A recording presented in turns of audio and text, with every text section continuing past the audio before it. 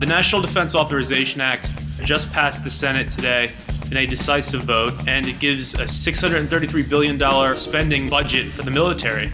And this thing is not being looked at at all by the mainstream media. If we're going to talk about the fiscal cliff and, you know, the widening deficit and all of these economic problems, why are our politicians, uh, the Republicans and some of the big government Democrats, why are they ignoring this elephant in the room? This is $633 billion of spending.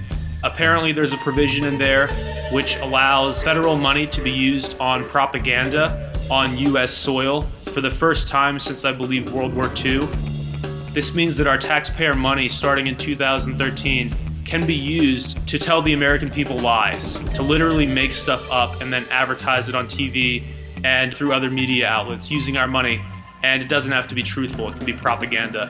That's in the NDAA, and also the imprisonment without trial controversy. The NDAA, last year's version that was passed, has uh, indefinite detention provisions. Section 1021 would allow the military to imprison American citizens on U.S. soil without charge or trial, without access to a trial. And they can do that on suspicion alone. So if anybody in the government says, hey, I think this might be a bad guy, this might be a, a terrorist, they can imprison you for the rest of your life and not give you a trial nor even access to an attorney.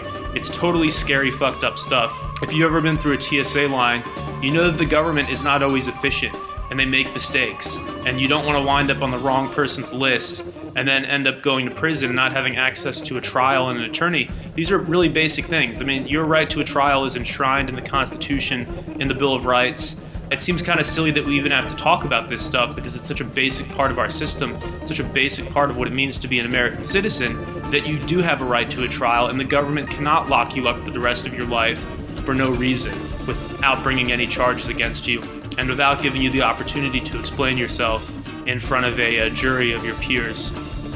So this is all in the NDAA. The mainstream media, for whatever reason, is totally ignoring it. If you try to tweet uh, mainstream media anchors or producers they will either ignore you or they will tell you that they've already covered this.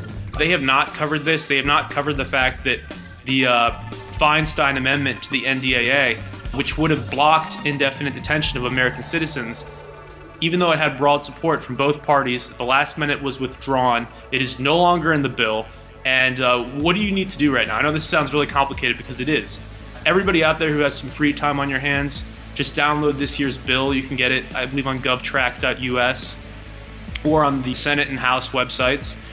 Read it yourself, find some sections that, that you find to be troubling, and post those sections on Reddit and Digg. Get the word out. We really need to crowdsource this thing and do the research ourselves and do it very quickly. And it's something that everybody needs to read up on, everybody needs to talk about here on YouTube, over on Twitter, on Facebook. This is a huge issue that the mainstream media is ignoring, and it affects you and me directly and all Americans all uh, 312 million of us.